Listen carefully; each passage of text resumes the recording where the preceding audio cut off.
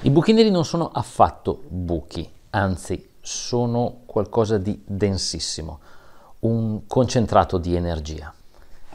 E non sono affatto neri, appaiono neri a noi, ma loro non sono neri. In quest'ultima puntata andiamo a vedere come sono dentro i buchi neri. Puntata buia questa. Ipotizzeremo un fantascientifico viaggio nei loro meandri e alla fine vedremo che qualcuno ha immaginato che invece fossero proprio dei buchi, ma dei buchi un po' particolari.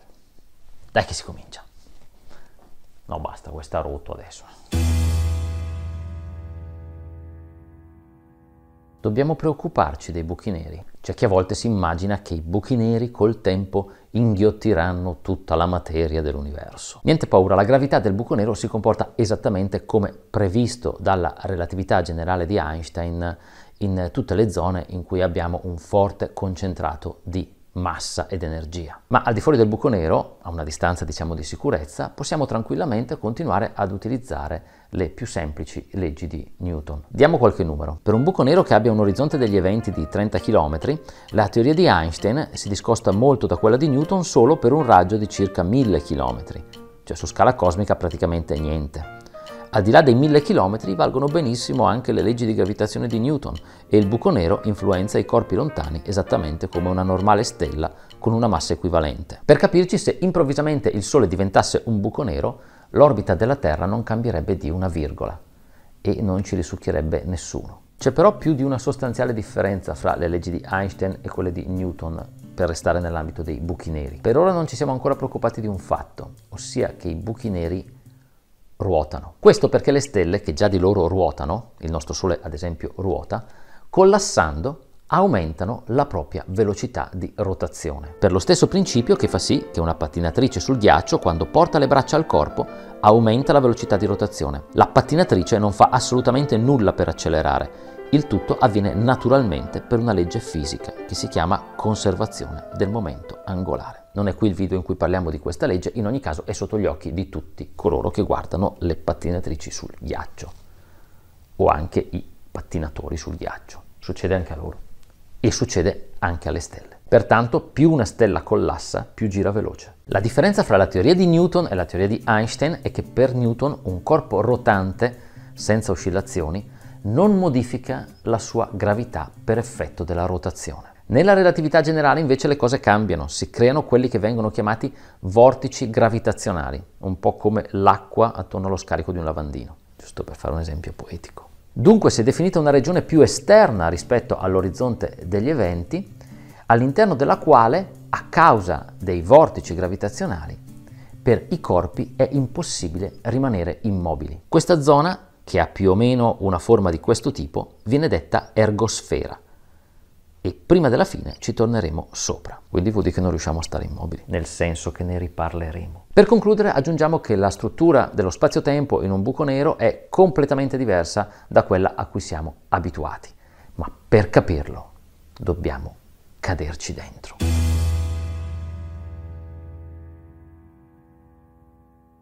Se cadessi verso un buco nero, magari ci mandiamo una telecamera tanto per non rischiare. Senti Braveheart, se ci mandiamo una telecamera una volta che supera l'orizzonte degli eventi, col cavolo che ci rimanda indietro qualcosa. Non può più trasmetterci nulla, dobbiamo andarci noi. E vabbè, ma poi anche noi non, non pensarci adesso, non pensarci. Fai un bel respiro e si parte. Torniamo al nostro buco nero. Oltrepassando l'orizzonte degli eventi non noterei nulla di speciale, solo che a quel punto non potrei più tornare indietro però potrei anche non saperlo. Immaginate come quei film thriller dove esplorate le stanze di una casa misteriosa. Mentre passate da una stanza all'altra avete la sensazione di poter anche tornare indietro, ma a un certo momento sentite chiudere improvvisamente la porta alle vostre spalle e un colpo di chiave nella toppa. A quel punto sapete che da lì non tornate più indietro. Come dicevamo, la struttura dello spazio-tempo in un buco nero è molto particolare e difficile da descrivere senza utilizzare le equazioni matematiche, ma proviamo comunque a capire cosa succede. Lo spazio e il tempo, come siamo abituati a vederli noi, sono praticamente invertiti. Vediamo come. Una caratteristica per noi evidente è che il tempo scorre e lo spazio no. Io posso fermarmi nello spazio, ma non posso fermarmi nel tempo. Nel momento in cui cominciamo a precipitare in un buco nero, lo spazio comincerà a passare in modo inesorabile, esattamente come fa qui sulla Terra, il tempo. Quindi qualsiasi cosa facciate, voi continuerete a cadere inesorabilmente verso il centro del buco nero. Così come qui sulla Terra, qualsiasi cosa facciate, il tempo continuerà a scorrere inesorabilmente. Non solo, ma i calcoli dimostrano chiaramente che per effetto di questa inversione, se voi cercate in qualche modo di rallentare la vostra caduta attraverso razzi, propulsioni o altre diavolerie, non servirebbe a niente, anzi ai vostri occhi la rendereste ancora più rapida. Se volete impiegarci il maggior tempo possibile a cadere, non dovete fare assolutamente niente. Niente. Devi togliere le mani dal volante e non fare assolutamente niente. Nessuna reazione, immobile. Se foste in caduta in un buco nero, dicevamo, per un certo periodo potreste anche non accorgervene.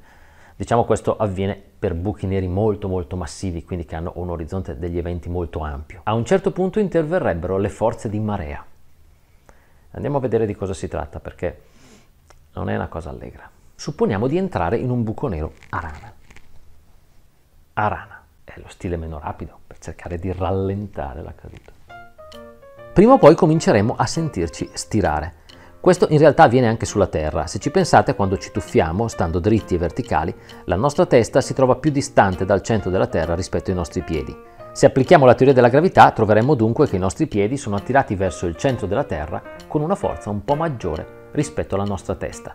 Ma la differenza è irrisoria e nessuno se ne accorge. Ecco, se cadete in un buco nero, la differenza non è più irrisoria e ve ne accorgereste. A un certo punto lo scarto con cui viene attirata la parte del vostro corpo più prossima al centro rispetto a quella più distante diventa così elevato da rendere assolutamente impossibile l'ipotesi di cavarsela. Del resto, se hanno chiamato questo fenomeno spaghettificazione, un motivo ci sarà. Giusto per puntualizzare, sottolineo che per quanto questo termine, che è veramente il termine usato in questi, in questi casi, venga utilizzato quando si parla di buchi neri in realtà non è una loro prerogativa. Le forze che provocano la spaghettificazione sono chiamate anche forze di marea, perché le maree seguono la stessa logica, è una cosa che vediamo tutti i giorni sulla Terra con gli oceani che si alzano e si abbassano o le vediamo nel sistema solare, per esempio ci sono satelliti di Giove e di Saturno che subiscono delle forti forze di marea, cioè quindi si deformano perché sono attratti gravitazionalmente dal pianeta gigante che hanno vicino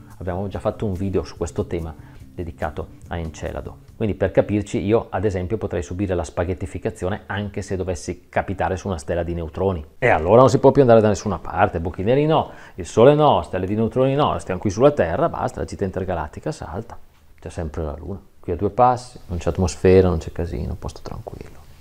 Ma quando noi cadiamo in un buco nero, Cosa vede un amico dall'esterno? Proviamo a vedere ma facendo una semplificazione, cioè ipotizziamo che il buco nero non ruoti, se no diventa un po' incasinato. Man mano che ci avviciniamo all'orizzonte degli eventi, l'amico ci vedrà cadere come alla moviola, rallentando sempre più fino a vederci fermare sull'orizzonte degli eventi, come se fossimo congelati lì. Il tempo infatti, come abbiamo già raccontato nella serie sulla relatività, rallenta per effetto dei forti campi gravitazionali. L'amico non ci vedrà mai cadere oltre l'orizzonte degli eventi, semplicemente a un certo punto la nostra immagine si dissolverà. Adesso è chiaro perché prende il nome di orizzonte degli eventi, perché è impossibile per un esterno vedere qualcosa che succede oltre quella linea. Lì gli eventi si cristallizzano e quello che succede dopo non c'è dato sapere. Nella scorsa puntata ho lasciato in sospeso il discorso legato ai buchi neri supermassicci al centro delle galassie. Allora faccio una specifica perché ho visto da qualche commento all'altro video che non mi sono espresso bene. Le galassie hanno al centro dei buchi neri supermassivi. Per supermassivi intendo milioni, talvolta miliardi di masse solari. La massa dell'intera galassia normalmente è molto maggiore di quella del buco nero.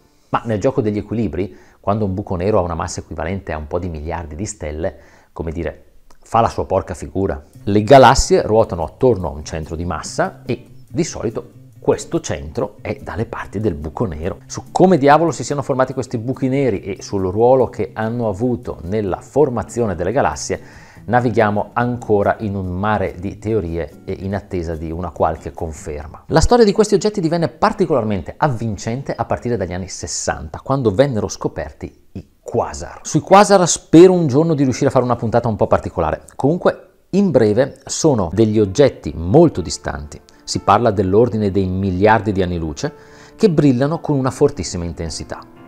Si pensa possano essere delle galassie giovani molto attive che concentrano la loro energia in un nucleo centrale in cui si trova molto probabilmente un buco nero supermassiccio. L'idea che il buco nero fosse qualcosa che si creava praticamente prima della formazione della galassia era qualcosa di tanto bizzarro quanto inaspettato.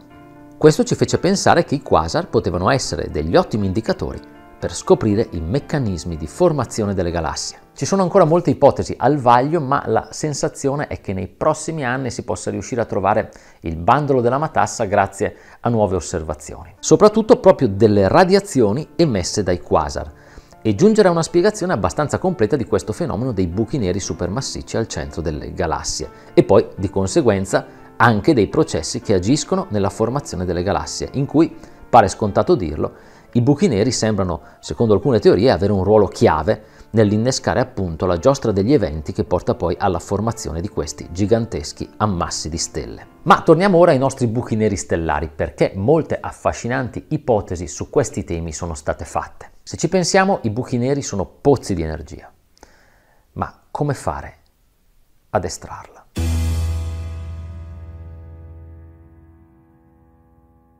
Nell'ergosfera, dicevamo, non si riesce a stare fermi. Mi spiego peggio. Se noi ci mettiamo nell'ottica delle leggi di Newton e prendiamo un corpo come ad esempio il Sole, vediamo che dei corpi stanno in orbita attorno a lui e non ci sono problemi di sorta, nel senso che tutte le orbite vanno bene, ossia sono stabili.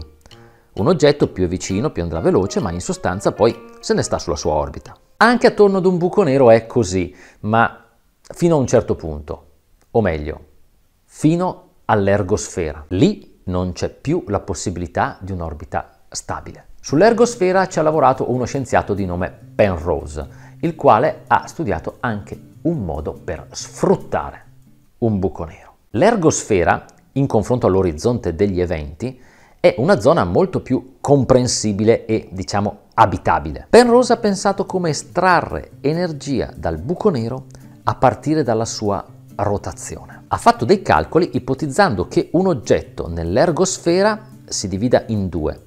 Una parte precipiti nel buco nero e l'altra parte invece riesca a sfuggire. Se questa operazione viene fatta con tutta una serie di accorgimenti, la parte che sopravvive viene espulsa con un'energia maggiore di quella con cui era entrata, ma così maggiore anche da coprire la sua perdita di massa, perché essendo divisa in due ha perso anche della massa quella che è finita nel buco nero. Per farla breve, ci troveremmo con un'energia maggiore di quella che avevamo all'inizio. Ma se noi adesso abbiamo più energia, chi è che l'ha persa? Nell'ipotesi di Penrose è il buco nero che per effetto di questa operazione va a rallentare la sua rotazione bilanciando così il computo dell'energia. In conclusione il processo ruba momento angolare al buco nero, il quale va man mano rallentando fino a trasformarsi in un buco nero statico. Attenzione, non confondiamo questo processo con quello descritto da Hawking sull'evaporazione dei buchi neri, che è un'altra cosa. Ovviamente il discorso è molto complesso e ad oggi totalmente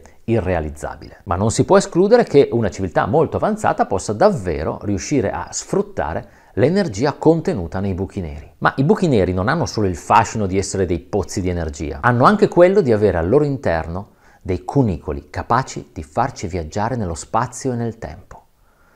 Ma sarà proprio così? Andiamo a darci un'occhiata. Senza dubbio gran parte del fascino dei buchi neri sta nell'ipotesi, ripresa anche in molti libri e film di fantascienza, che questi oggetti possano essere dei ponti verso altri universi o anche un collegamento tra diverse regioni del nostro universo molto distanti tra loro, i cosiddetti wormholes. Ma questa è un'idea tutt'altro che recente e per questi pensieri strani non è stato necessario scoprire i buchi neri. Già ben prima della nascita di Einstein c'era chi fantasticava su possibili collegamenti fra parti lontane dello spazio erano prevalentemente i matematici, perché noi pensiamo ai buchi neri come i soggetti più bizzarri dell'universo, ma in realtà i soggetti più bizzarri dell'universo sono i matematici. Ne cito uno in particolare, Charles Dodgson, e se qualcuno di voi è convinto di non averlo mai sentito probabilmente si sbaglia, a meno che non abbia mai veramente sentito parlare di Alice nel Paese delle Meraviglie e del suo autore. Dodgson, appunto, meglio noto con lo pseudonimo di Lewis Carroll. E qui siamo poco dopo la metà dell'Ottocento. Erano anni quelli, e anche successivi fino alla fine del secolo, in cui diversi matematici si divertivano ad escogitare collegamenti fra spazi a più dimensioni. A metà degli anni 30 del secolo successivo però c'era una teoria, quella della relatività, che faceva supporre che tutto questo potesse davvero essere reale. Il suo ideatore, un tale Albert Einstein, di cui devo aver già parlato in qualche puntata, insieme al suo collaboratore Nathan Rosen ipotizzò quello che venne chiamato ponte Einstein-Rosen, che non era un ponte che andava da, da Einstein a Rosen, che l'avevano chiamato così perché l'avevano, l'avevano scoperto Einstein e, Ro- e Rosen, abbiamo chiamato Einstein, Rosen. Basta, andiamo avanti. L'obiettivo dei due era quello di dimostrare che non vi erano delle singolarità. Sapete, come dicevamo, non è mai bello quando in certi punti la teoria si inceppa. E sembrava che al centro del buco nero, alla teoria della relatività, succedesse proprio questo. E in effetti i due riuscirono a scrivere una soluzione evitando la singolarità tramite un magheggio con un cambio di coordinate, ma se da una parte evitarono una cosa bizzarra come il punto di singolarità, che lo ricordo in questo caso è un punto dove il tempo si ferma, dall'altra parte trovarono qualcosa di ancora più strano. In pratica, al posto della singolarità, trovarono un collegamento con un universo parallelo, un ponte per l'appunto il ponte di Einstein-Rosen. Detto in modo molto semplificato da un punto di vista matematico, per evitare la singolarità si dovevano collegare due spazi-tempo diversi. Insomma, un qualcosa di simile alle storie di Alice nel Paese delle Meraviglie. Smorzo subito gli entusiasmi, e anche all'epoca la cosa non fece particolarmente scalpore, in quanto il ponte era estremamente instabile. Ossia, questa fantomatica connessione tra i due universi durava talmente poco da non permettere il passaggio nemmeno a un raggio di luce. Figuriamoci a un gatto. Perché per primi avremmo mandato di là i gatti per controllare se era un universo in cui valeva la pena viverci. Fermo qui dove vai che stavo scherzando. Vieni qua. Passarono una ventina d'anni e si cominciò a parlare di buchi neri. Intendo con questo termine. Questo grazie ad Archibald Wheeler, uno dei maggiori esperti del settore, il quale nel 1955 dimostrò che un tunnel spazio-tempo può collegare anche due punti diversi dello stesso universo. Un po' come il sifone del water, se uno passa dal sifone del water, prende la colonna fecale e da lì potrebbe teoricamente collegarsi e risalire dal sifone di un altro water. Ah, poesia pura oggi. Di solito si usa l'esempio della tazza, e appunto, ma non della tazza del water, della tazza da bere, che manico che collega due punti della tazza. Eh. Passarono altri otto anni e Roy Kerr portò ai massimi livelli la teoria contemplando il fenomeno dei buchi neri rotanti. Fece una suggestiva ipotesi. La singolarità al centro del buco nero non era più un punto, bensì un anello. E da un anello, come dire, ci si potrebbe infilare per sbucare in un altro spazio e in un altro tempo. Ma anche qui sembra essere una situazione talmente instabile da essere considerato impossibile qualsiasi attraversamento. In realtà vi è una matematica che rappresenta soluzioni della teoria della relatività generale in condizioni molto particolari, su cui lavorò il grande Penrose, che manovrando le varie equazioni ha prospettato la possibilità di sfruttare la singolarità ad anello per riuscire a girarci intorno e spostarsi su un buco bianco. Se ci sono i buchi neri, ci si è detti, allora esisterà qualcosa che invece al contrario espelle materia invece che inglobarla e li hanno chiamati buchi bianchi. Alcune soluzioni della relatività generale ammettono in effetti la loro esistenza. Ricordiamo a scanso di equivoci che non è detto che se delle equazioni ammettono l'esistenza di un oggetto questo esista. Potrebbe anche non esistere. E sembrerebbe essere il caso dei buchi bianchi. Tra l'altro c'è un problema nella creazione di questi corpi. Infatti sembra molto probabile che la materia espulsa da un buco bianco tenda a ricadere all'interno finendo col trasformarlo in tempi rapidissimi in un buco nero. Allora, il pensiero ricorrente è che vi sia sempre in natura una sorta di simmetria. Pensate al principio di azione-reazione. Se qualcuno fa qualcosa, da qualche altra parte deve esserci un altro che fa la stessa cosa ma all'inverso. Qualcuno che controbilancia. Spesso queste idee di equilibrio e di conservazione si sono rivelate vincenti nella storia della fisica. Ma tornando ai nostri buchi neri, insomma, non sembra esserci proprio possibilità di passare fuori. Ma un giorno a qualcuno venne un'idea. Nel 1985 l'astrofisico Carl Sagan, che era un noto personaggio televisivo, sta lavorando a un romanzo di fantascienza, ma ci teneva, per quanto fosse un'opera di fantasia, ad essere il più realistico possibile. Nel suo racconto voleva collegare due regioni distanti della galassia con un tunnel spazio-temporale, ma sapeva che sia il ponte di Einstein-Rosen che gli anelli di Kerr non avrebbero permesso ai suoi personaggi di fare l'attraversamento. Chiese dunque lumi a Kip Thorne, un espertone di relatività. Con Thorne all'epoca lavorava un dottorando, tale Michael Morris. I due decidono di prendere sul serio la richiesta di Sagan e si mettono al lavoro per cercare di capire se esistono delle soluzioni, come dire, credibili a questo problema. Provarono un approccio completamente diverso perché visto il tipo di richiesta potevano anche in fondo permettersi di osare, no? Decisero di fare la lista delle condizioni che il wormhole in questione doveva soddisfare, ossia aperto sempre, stabile, senza orizzonte degli eventi in mezzo ai piedi, se no è un dramma, senza singolarità, senza forze di marea, se no i tipi una volta passati dall'altra parte li inscatolavano e li rivendevano come spaghetti al supermercato. Insomma un qualcosa in cui si potesse passare senza crepare in qualche modo strano. Thorne immaginò tutto questo. Quello che non poteva immaginare è che c'era una soluzione. Ovviamente in teoria, però in teoria potevano esistere buchi in cui le astronavi degli umani avrebbero potuto passare. E non solo, ma anche tornare indietro, perché gli umani, si sa, si dimenticano sempre qualcosa quando partono.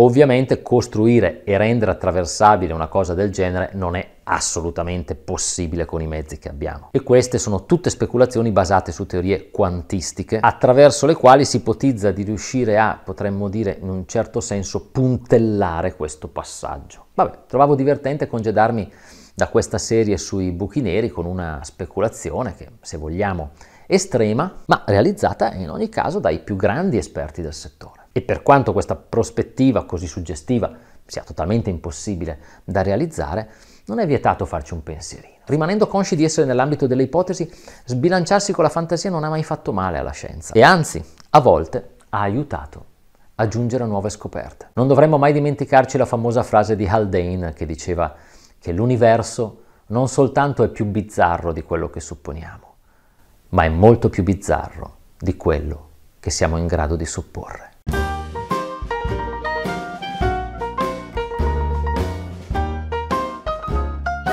Eccoci dunque arrivati alla fine di questa serie, spero di essere riuscito a trasmettere un po' di informazioni interessanti su un mondo tanto affascinante quanto ancora misterioso come quello dei buchi neri di cui si sente in effetti spesso anche parlare. So di essere rimasto in superficie per certi passaggi e pertanto per i più curiosi di approfondire come sempre rimando alla bibliografia che metto in descrizione ai video e per i buchi neri in particolare abbiamo consultato ovviamente il grande classico di Hawking dal Big Bang ai buchi neri, anche il simpatico L'astrofisica per chi va di fretta di Neil deGrasse Tyson, oppure il libro proprio specifico I buchi neri di Gapser e Pretorius, poi per tutto ciò che riguarda cosmo e astronomia i libri della grande Margherita Hack vanno sempre benissimo. Poi abbiamo letto questo libro un po' datato ma in effetti molto molto ben fatto, secondo me che è Buchi neri, Wormholes e macchine del tempo di Jim Al-Khalili e poi le illuminanti sintesi ovviamente di Bruce Benamran. Ecco, non è una top 10, sono solo i libri che, eh, come dire, mi sento fra quelli che ho letto di consigliarvi. Ce ne saranno sicuramente altri altrettanto interessanti, anzi se qualcuno ha dei suggerimenti li scrive nei commenti e ci farà piacere ovviamente così creare una sorta di bibliografia nei commenti per chi volesse per l'appunto approfondire il tema. Ci tengo a precisare che non ho nessun tipo di rapporti con gli autori o le case editrici di questi libri che vi ho, suggerito, ecco non ho nessun interesse a che voi li compriate, era solo giusto per darvi degli spunti. Il libro invece che se comprate date una mano alle attività di Curious dell'associazione Atelier è A quattro zampe nel cosmo. Collegato alle canzoni del CD Materia Oscura Corpi Celesti. Le nostre attività pubbliche sono riportate come sempre sul sito dell'associazione e quelle che riguardano il canale Curious le trovate anche sulla nostra pagina Facebook. Se volete restare aggiornati sui nostri video, come sempre vi ricordo di iscrivervi al canale e di cliccare la campanella. Ringraziamo tutti coloro che ci sostengono, la vostra generosità ci permette di finanziare le nostre attività e di continuare a progettare nuove avventure. Grazie. Ma dici che per il discorso di del fatto che abbiamo citato i libri, eccetera, dovremmo chiedere almeno un sacco di crocchette. Ma cosa faccio? Gli, cioè, gli chiamo, gli dico scusi, ho citato il suo libro nel mio video Curious, non potrebbe spedirci un sacco di crocchette visto che mi ha fatto pubblicità? Infatti, un po' forzata.